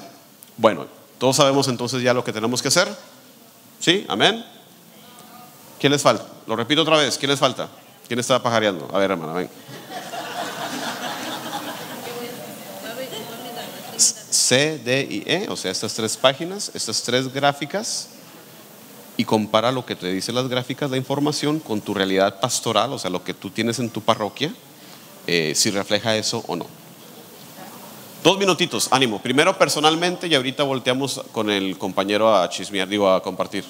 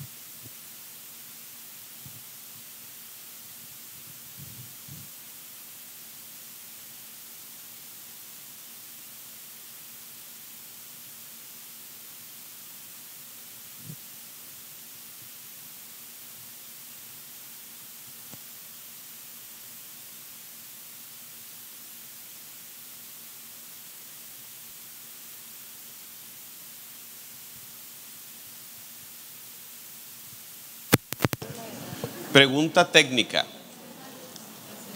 ¿Ven ustedes la necesidad de quizás antes de lanzarse a la reflexión explicar un poquito lo que dicen las gráficas? ¿O si, las entienden plenamente? Ok, ok. Vean cómo estamos aprendiendo a la marcha. Vamos a, primero brevemente decir lo que la información que viene. Y hagan ustedes eso cuando ustedes den, ase- asegúrense como instructores. No nomás de, ahí está y Dios los bendiga. Por eso les pregunté, digo, bueno, quizás yo los entiendo, quizás otras personas no. Hay que ser conscientes. Entonces, hagan eso. Folleto C. ¿De qué está hablando la primera gráfica? Proyección de la población católica por grupos de razas. El grupo hispano es de qué color? Eh, ahí se está representando del 2000 al 2030. ¿Qué pasa con el color morado del 2000 al 2030? Ahí está, ¿ok? Segunda gráfica. Eh, aquí está por edades, por edades. ¿De qué color es el color de los hispanos en esta gráfica? Igual, ¿verdad? ¿Qué pasa? eh, ¿Cuál es el de los anglos? El azul. En, este, en esta foto, en esta snapshot, en esta captura, que fue entre el 94 al 2007, ¿dónde están los anglos? ¿Y qué sucede? Esto es en el mismo periodo de tiempo, pero con generaciones más jóvenes. ¿Qué pasa con los anglos? ¿Ok? Ahora, los generaciones más veteranas, hispanos, ¿cuántos son? No tantos. ¿Cuántos son en las generaciones más jóvenes? Crece. ¿Qué quiere decir eso? Que en un futuro, ¿qué va a haber más? Porque si en ese entonces eran más los jóvenes y son más los viejitos anglos, en un futuro los viejitos mejor vida y los jóvenes, ¿me explico? Esa es la realidad que explica esa gráfica.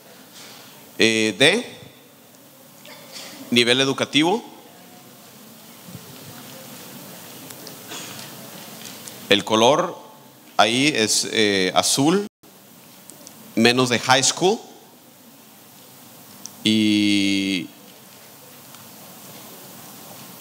el color gris es un posgrado. Los grupos son las diferentes razas. Veamos la realidad de los inmigrantes latinos, que es la columna, el último grupo a la derecha. ¿Qué es, lo que, qué es la mayoría de ellos? ¿Qué, qué nivel educativo tienen? ¿Ok? Otros grupos tienen otra realidad, ¿ok? Eso es lo que habla esa estadística.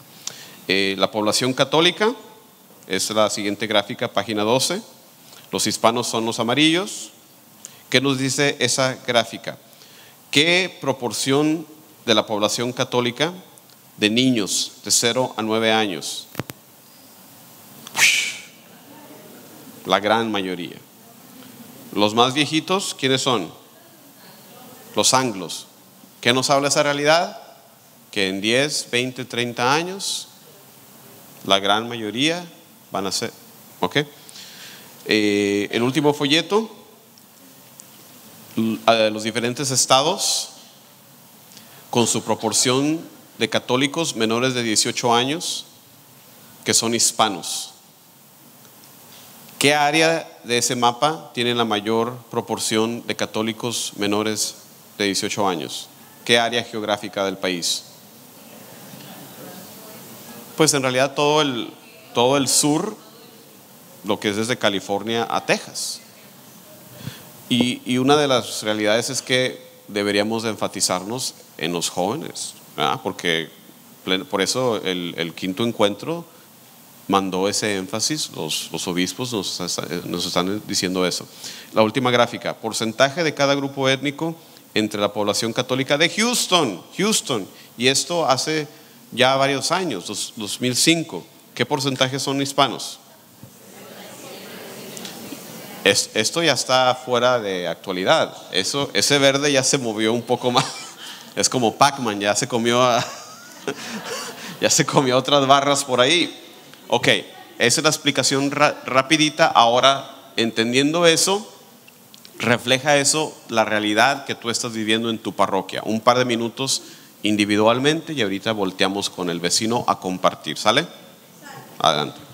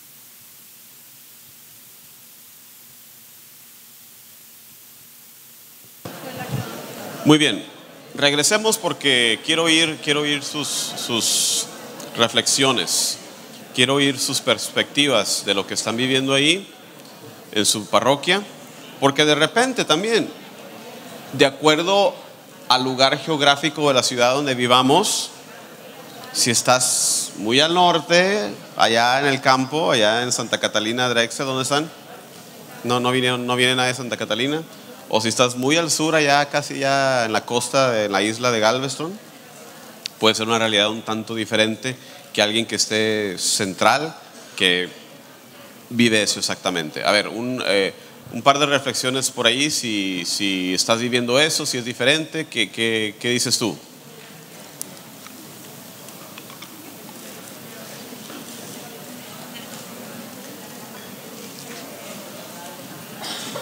Empiezo yo entonces.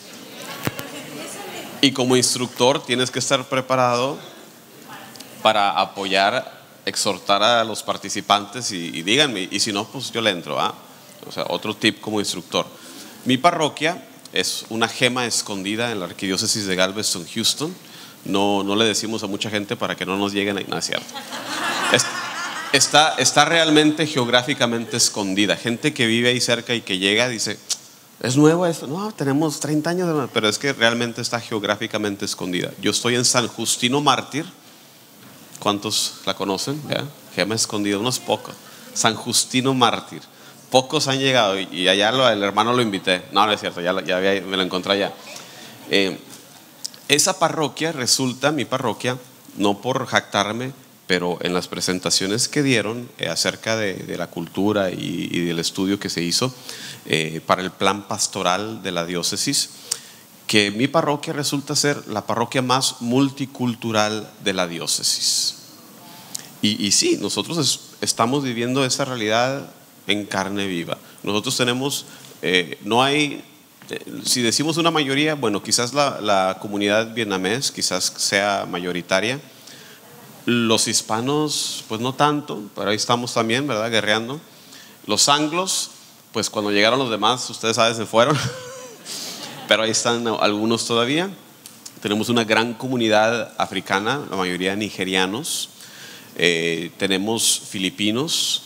Eh, incluso, incluso tenemos una comunidad eh, que les hemos dado acogida, que salieron de refugiados de Siria y que tienen ellos su liturgia divina porque ellos son ortodoxos, son sirios ortodoxos. Entonces tenemos incluso una comunidad de sirios que los domingos, eh, por ahí de las 11 creo, en nuestra capilla, ellos tienen su divina liturgia. Y lo más hermoso es en las festividades de la fiesta un- universal de la iglesia, ¿verdad? La Navidad, eh, la Pascua, eh, la Santísima Virgen el primero de enero. Ahí estamos todos. Y cantos en todos los idiomas. Lecturas, pues en diferentes idiomas. Ya se para el coro en español, ya vienen los africanos que le dan un sabor también increíble y sobre todo en la manera en que ellos procesan con las ofrendas, que no es, no es danza, sino que es un movimiento en oración. Ya vinieron los, los sirios en, en un lenguaje tan cercano al lenguaje mismo de nuestro Señor en arameo. Eh, algo bello, algo muy bello de ver. Entonces nosotros sí, realmente está en, Eldridge y West Park, está en el área de A-Leaf, entonces ya se pueden dar cuenta porque es tan multicultural, porque sí, Southwest, esa área es bastante multicultural, entonces nosotros vivimos eso. Eh, ¿Es fácil? Pues no, porque ahí están el tira y afloja. Personas, eh, yo, yo siempre pongo, por ejemplo, a mi suegra de ejemplo, porque ella es la que está metida en la cocina. Yo pues entro y salgo en mi misa, si voy a inglés, pero a ella le toca estar en la cocina. Y, y, ha batallado a través de los años para que, eh, es nuestra hora, denos chance. Ahora ya después de los años, ahora ya le, le caen a ella los, los rollitos vietnameses, ya ella les da tamales a todos, ya hay una armonía. Pero se ha tomado el tiempo de batallar, de conocerse, de reconocer, pues estamos todos aquí trabajando para el mismo propósito. Y la parroquia es ni tuya ni mía, es de todos.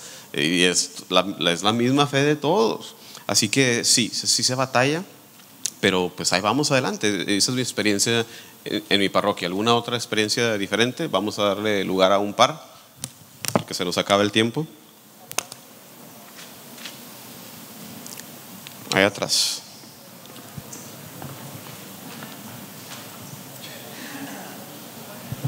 Bueno, hermano JC, eh, yo creo que también una, una, gran experiencia que tenemos en todas las parroquias de, de, las culturas es en el bazar, ¿no? También. Sí. Los bazares, que llaman la, que la fiesta de otoño, no sé cómo sea, festival de otoño, sería traducido al español. Ahí, ahí podemos ver también todo esto que estás hablando, ¿no? Claro. Ahí se comparten las culturas. En mi comunidad Santa Ana, pues nomás tenemos la comunidad de hispanos, de anglos y también está creciendo ahorita una comunidad de filipinos. Uh -huh.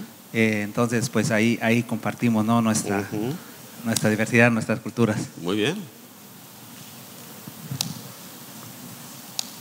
¿Una más? Ahí atrás primero. Nuestra realidad eh, en Holy Family tenemos 16 diferentes culturas, tenemos diversos eventos donde nos fusionamos como este, la misa de Navidad es multicultural. La, la, vespertina, misa vespertina de medianoche, multicultural. Tenemos la fiesta de Pentecostés, donde compartimos tradiciones, cultura, comida, música. El, el Día de la Virgen de Guadalupe ya se hizo bilingüe, también para invitar a todas las culturas a participar el Nazareno Negro, que el día de hoy se ha invitado a toda la comunidad. Tenemos eh, comunidad filipina, nigeriana, este, latina de diferentes países. Así que tenemos muchos eventos, el bazar. Tenemos un gran compartimiento de, de nuestras culturas y nos hemos fusionado y estamos trabajando. Nuestros líderes pues son los que pueden dar mayor razón porque ellos son los que tienen que trabajar para ponerse de acuerdo para uh -huh. que toda la comunidad tengamos este, esa facilidad sí. de poder conocernos. No nada más los hispanos nos queremos imponer, sino están tratando de que realmente seamos una comunidad unida en la fe. Holy Family, Missouri City, ¿verdad? Missouri City. Acabas de hablar de una realidad también muy importante, no nos queremos imponer. Éramos los oprimidos, ya llegamos, ya nos establecimos, ahora somos la mayoría, los demás que sufran lo que sufrimos. No, y, y, así me ha tocado. Hay varias parroquias cuyo nombre no va a ser mencionado, que ahora eh, se vive lo reverso, ahora son 95% hispanas y ahora cuando hacen la preparación sacramental la quieren hacer nada más en español y me dejan a dos o tres anglos afuera. No, no podemos, no, no, no podemos hacer ese reverso, no podemos eh, llegar y, hacer lo que nos hicieron. No, hay que darle cabida a todos. Así que aunque estemos establecidos, nosotros no vamos a devolver la misma que nos hicieron. No, nosotros no vamos a hacer eso. Eh, otra realidad, ahí, antes, de, antes de la hermana, eh, busquen en Google, o a lo mejor lo, lo incluyo aquí en el folleto. Salió hace un par de años, o hace un año, incluso creo que en el New York Times, un artículo donde describía que el condado, ¿saben cuál es el condado más diverso de los Estados Unidos? No. Fort Bend. Fort Bend. Fort Bend es el condado más diverso de los Estados Unidos. Entonces, lugares como Sugarland, como Missouri City, son, ¿cómo miden ellos eso? Pues del hecho de que ni, ninguna etnia tiene la mayoría. Eh, es, es, una de las medidas porque dicen, pues ni, ni Nueva York, ni Florida, ni ninguno de esos. No, aquí mismo en Texas. Y, y, llama mucho la atención porque dicen, así como se mira Fort Bend y Harris y Houston, así se va a ver la nación 10, 15, 20 años en adelante. Por eso llama la atención, por eso es estudiado, por eso es seguido. Eh, quizás les incluya ese artículo aquí, porque es algo muy interesante saber que aquí mismo es donde tenemos esa multiculturalidad. Eh, una última reflexión había por ahí. Sí, hermana. En nuestra parroquia de San Gregorio el Grande es una, una parroquia escondida, pobre, abandonada por la arquidiócesis, abandonada por nuestra catequesis. Hemos hecho invitaciones que vayan porque nos falta mucho, mucho en nuestra catequesis con nuestros sacerdotes. Es una comunidad que antes era más de morenos, americanos. Cuando empezaron a llegar este, los, nosotros los hispanos se fueron los americanos Quedamos nada más dos razas, la morena y los hispanos, estábamos como divididos. No nos, este, no nos acoplábamos o no nos aceptaban ellos también a nosotros. Ahora estamos cambiando por gracia de Dios. Nos estamos este, teniendo la unidad apenas. Hemos tenido también sacerdotes, como aquí sabe este, el señor Salazar, yo creo Juan Carlos también, que tuvimos un sacerdote muy buena persona, muy lindo, pero estaba enfermo. Él ya no podía dar mucho. Este, ahorita tenemos un sacerdote nuevo de Nigeria, está aprendiendo el español y ojalá que cambie, pero en nuestra iglesia nadie la conoce. De verdad, yo quiero hacerle la invitación a, Gerardo, que ni siquiera me está escuchando, que le lleve usted la motivación, don Juan Carlos, que, que no nos abandone porque necesitamos tanto. Ahorita parece que nuestro Padre tiene todo, toda la intención de seguir, pero yo aquí entre nos, que quede aquí entre nos, este, dijo que, que aquí la arquidiócesis le había dicho que no quería eh, mucho eh, que habláramos español. Entonces dijimos, si ustedes están dando, como dicen, creciendo, es la arquidiócesis que tiene más cursos en español, de todo, ¿verdad? Que nos que aprendamos, que nos están enseñando. Entonces necesitamos que entre su mano de ustedes en nuestra iglesia para que nos ayuden a crecer. Y luego estamos inundados. No se ha recuperado nuestra iglesia. Estamos todavía dando este, las misas en el hall, pero la gente sí estamos trabajando, pero necesitamos ayuda de todos de verdad. Y sí queremos que nos conozcan nuestra iglesia de San Gregorio, porque donde quiera que vamos no nos conocen, dicen quiénes son. Y ojalá que nuestra voz se escuche. ¿A qué horas es la misa en español? Nada más tenemos una misa en español a las 10 los domingos y una misa en inglés a las 8. Estamos bien pobres en todo, de verdad. Ahí te Pero van a 10. ver mucho cariño, pero también los invitamos a que vean los hispanos lo que hacemos con la Santísima Virgen, con nuestro Padre Dios, que tratamos de arreglar en, en todo bien lindo, bien bonito, con todo el corazón, pero sí, el Via Crucis, pero nos falta mucho, mucho, de verdad. Hermanos, por favor, ayúdenos para que nuestra arquidiócesis escuche nuestro llamado y ustedes también, ojalá que podamos hacer algo con sus oraciones. Gracias, hermanos. Hermano Alberto, hermano Adán, meditan esa parte, por favor. Y sí, qué bueno que regresen de estar con nosotros. No, no eh, nos, te, escuchamos, hermana. Eh, la realidad es que vamos a, donde nos inviten. O sea, yo no puedo llegar sin invitación. O sea, no puedo llegar a pararme y órale, hagan eso. No. Nosotros estamos aquí para servir. Eh, pero como cuando vas al médico, si no le dices me duele aquí, no, estoy bien. Ah, bueno. Ah, fui con el doctor y no me hizo nada. Pues no le dijiste. Nosotros, en donde nos inviten, ahí vamos, hermana, con mucho gusto. Y, y- y oímos, eh, hoy estamos escuchando lo, lo que tú nos dices, así que con mucho gusto en lo que podamos ayudar, estamos ahí para servir.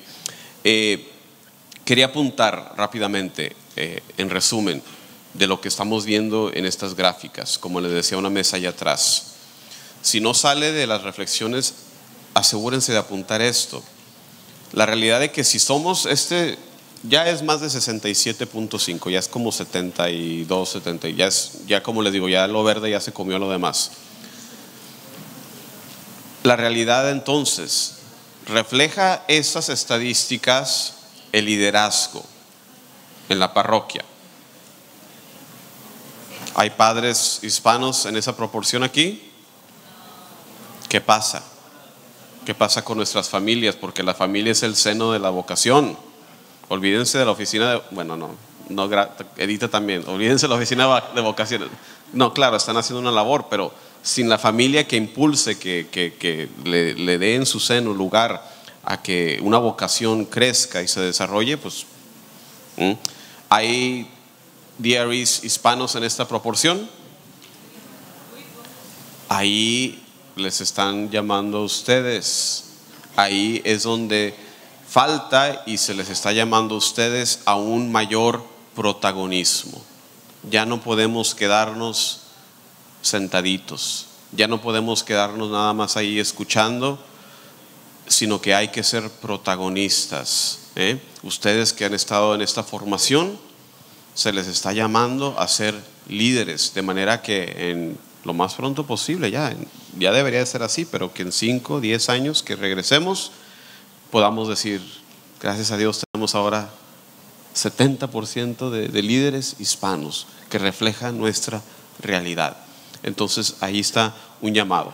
La última parte eh, de, esta sesión, eh, lean ustedes eso, me lo voy a saltar eh, el día de hoy, diversidad cultural en la iglesia de Galveston, Houston, muy importante.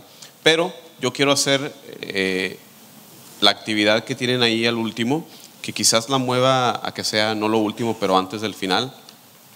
Eh, las cuatro particularidades, página 7 en su plan de lección, o si están viendo los folletos, está en el- la folletos G, either way.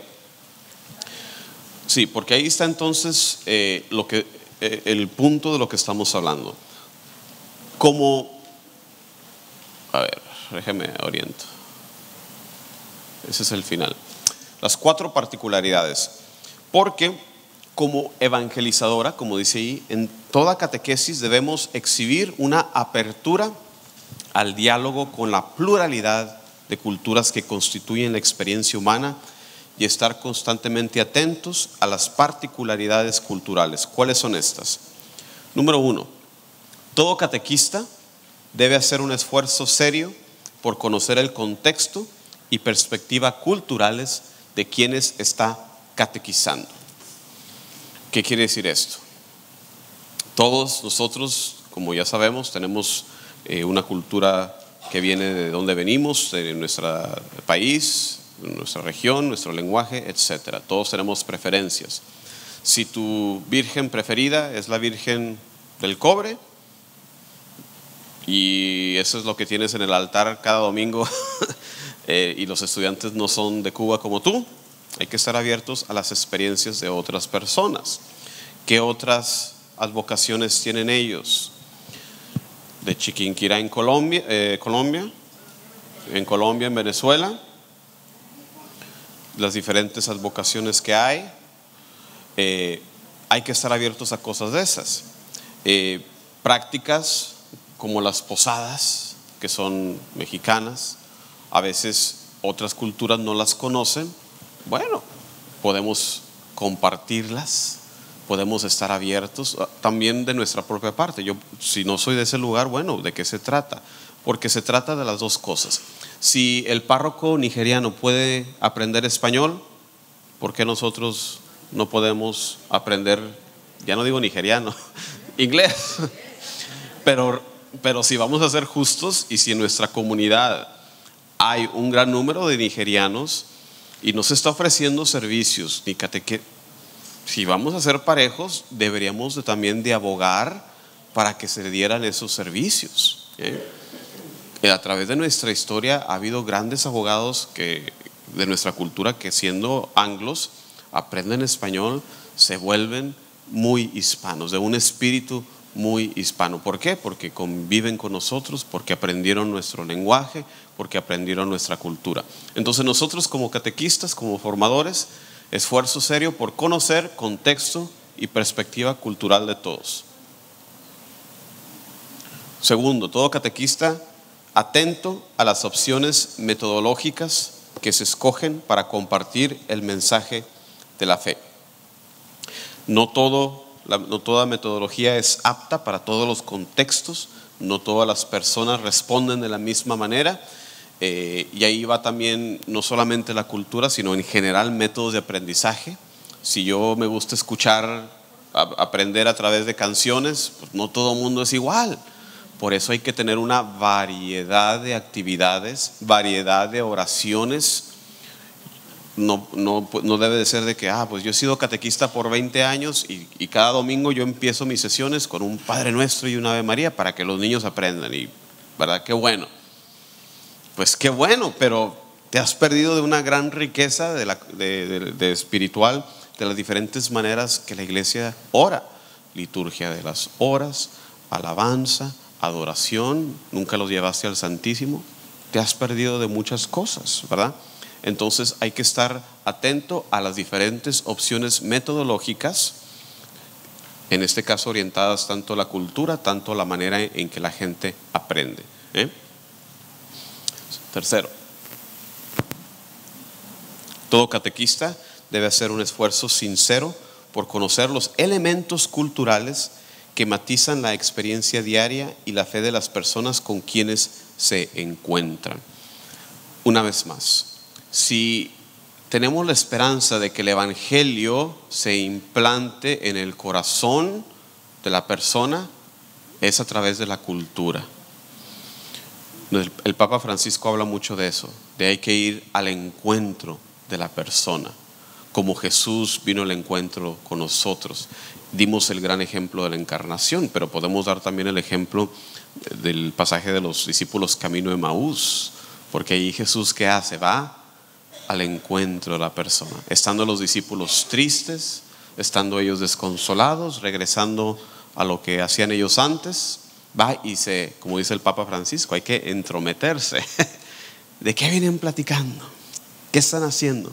Entrometerse en el buen sentido de la palabra, de que ves tú a tu alumno, a tu aprendiz triste, o quizás que estuvo llorando, o quizás lo ves más flaquito que antes. ¿Qué te pasa? ¿Estás bien? ¿Qué te podemos ayudar? Involucrarnos. Entonces, catequistas, involucrarnos, como le digo, de buena manera, ¿verdad? Eh, por el bien de ellos. Eh, conocer sus experiencias culturales para poder entonces que se implante el Evangelio en sus corazones. Y por último, de estas cuatro que se han elegido sus particularidades, como catequistas nosotros también somos fruto de un contexto cultural, hay que reconocerlo.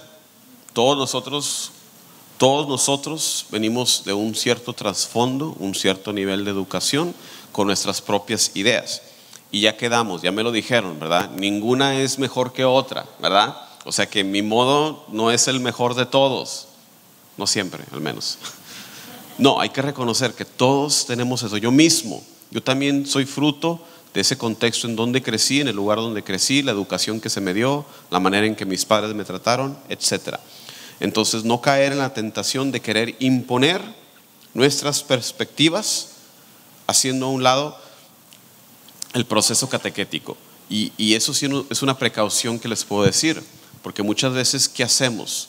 Venimos de nuestro país y lo que trabajó allá en Centroamérica, en Sudamérica, en México, ay, estas personas aquí en Estados Unidos no saben lo que están haciendo, vamos a hacerlo como lo hacíamos allá. ¿Va a trabajar? Pues no necesariamente, porque es un contexto cultural muy diferente. A veces vienen personas de fuera, quieren traer recursos de fuera porque allá es lo que conocen. Aquí hay una regla que los libros que se usan en la catequesis, ¿de dónde tienen que venir? Aprobados por la lista que viene de, la conferencia episcopal.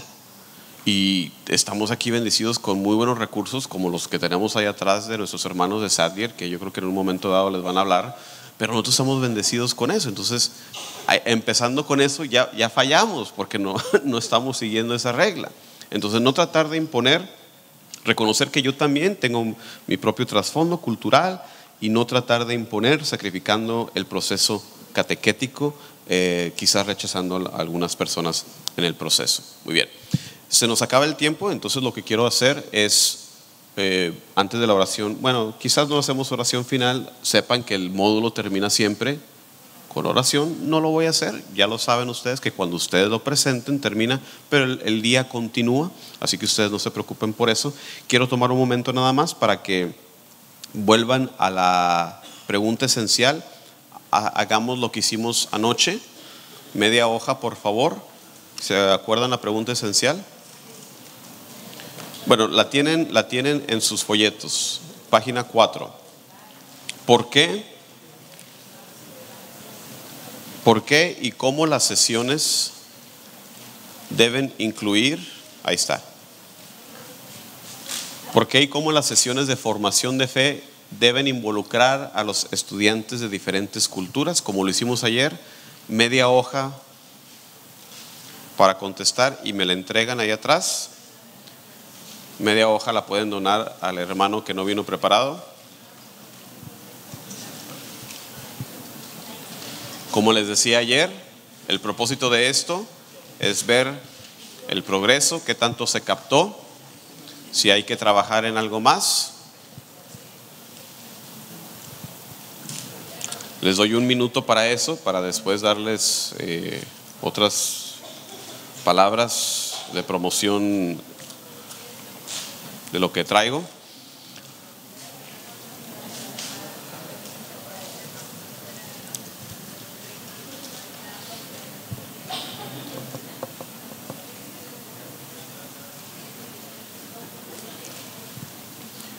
Esta actividad en realidad es personal, aquí no, no tienes que consultarle al vecino, pues qué piensas tú, no, ya lo que tú entendiste, ¿verdad? Y a veces como instructor, a veces tienes que diferenciar, no, este es para ustedes, ¿verdad? Ah, Ahora sí compartan, ¿verdad? Etcétera.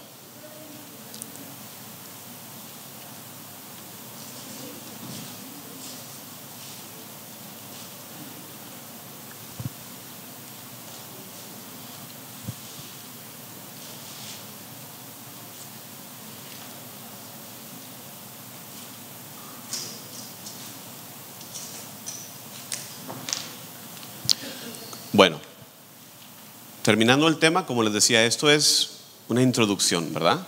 Simplemente el tocar con los deditos el agua de la profundidad del océano que es este tema.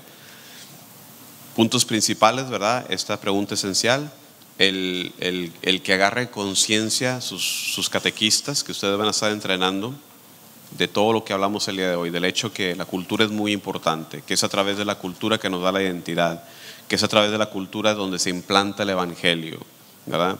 Que, estamos llamados a mantener esa cultura y sobre todo nosotros los hispanos nos preocupamos mucho por eso. Son las diferentes cosas que, que son el propósito de este módulo que ustedes van a compartir con catequistas de la arquidiócesis. En lo que terminan de anotar su, su, su reflexión, simplemente quería compartirles que también aparte de lo que hacemos aquí en la arquidiócesis, también tenemos formado un ministerio de evangelización virtual que hemos denominado Vayan al Mundo, que tenemos una mesa ahí atrás. Eh, ¿Qué les compartimos aquí? Muchísimas cosas. Eh, a través del Internet, a través de diferentes medios de audio, video y lo demás. Y tenemos recursos de formación. Eh, les compartimos cosas como reflexiones a las lecturas de la misa. Usualmente cada miércoles pongo ese audio. Eh, les he compartido programas de audio sobre enseñanzas del Papa Juan Pablo sobre la misa, San- eh, no, no- no- no San Juan Pablo, sino Papa Francisco sobre la misa. Ahorita mismo el programa que estoy compartiendo es una serie de 70, 70 catequesis que dio San Juan Pablo II sobre la Virgen María. Eh, tengo un par de clases en línea, una de ellas muy buena que va con el tema de ayer. Tengo una clase virtual, todo es gratis, eh, sobre la Eucaristía en el Antiguo Testamento. Tengo también eh, varios videos de formación, uno de ellos es la misa paso a paso, que está ahí todo gratis. ¿Por qué les digo? Porque simplemente vayan al mundo.org, ahí los pueden obtener. Si ustedes quieren apoyar lo que hago, porque ustedes saben que todo esto cuesta un cierto dinero. Tengo uno de mis libros que he escrito ahí, tengo algunas de las clases que ya les he dicho claramente, ustedes las quieren gratis, vayan al sitio. Si ustedes quieren apoyar monetariamente lo que hago, tengo unos DVDs y tengo también unas memorias USB donde ahí vienen todos los videos de formación, son como siete clases, Eh, viene una copia electrónica de ese libro y de otro que escribí y viene acceso a las clases en línea. Como les dije ya, lo he dejado bien claro, no tienen que comprar nada. Yo, me, yo estoy más que conforme con sus oraciones para que más gente escuche el mensaje de, de- de nuestro Señor de salvación. Pero si quieren apoyarlo monetariamente y tengo esos recursos, ¿cómo los obtienen ustedes? La página internet vayan al mundo.org. Los que tienen Facebook, si no lo tienen, no, los, no lo tengan. Están bien sin Facebook. Si, si ustedes tienen Facebook, en los dos minutitos que nos faltan, saquen su teléfono, abran Facebook. En la caja de búsqueda, ustedes le ponen, así como dice atrás en la mesa, vayan al mundo, vayan con B chica y con Y, porque me lo ponen con B grande y doble L y no sale. Vayan al mundo que lo- el, nombre es eh, imitando esa, esa orden de Jesús, vayan a todas las naciones, ¿verdad? Evangelizar. Instituto de Formación Vayan al Mundo, denle like y ahí todo lo que yo publique. Eh, las siguientes clases que vienen eh, van a ser una clase de antropología teológica y una clase de bioética que acabo de enseñar en el seminario este semestre pasado. Así que ahí lo voy a estar compartiendo. Todo completamente gratis. Menos el libro, porque el libro me cuesta producirlo, tengo que venderlo. Eh, pero como les digo, si quieren apoyar monetariamente, varias cosas de las que están ahí gratis, aquí las traje. Así que no me queda otra que darles muchas gracias por formarse, por decir sí. Y espero que todos también digan sí a- al ser instructores. Queremos verlos también ah, ayudándonos en realidad a nosotros para no tener nosotros que estar en, en tantos lados. Necesitamos su apoyo para que también ustedes estén en la instrucción. Y muchísimas gracias. Les pido oraciones por mí, por mi esposa, que me presta para estar aquí con ustedes un ratito. Ustedes saben, la vocación primordial es el matrimonio. Esto es un ministerio que puede o no cambiar. Espero que no, me gusta mucho. Pero muchísimas gracias por estar aquí. Gracias por la invitación. Y que tengan un bendecido resto del día.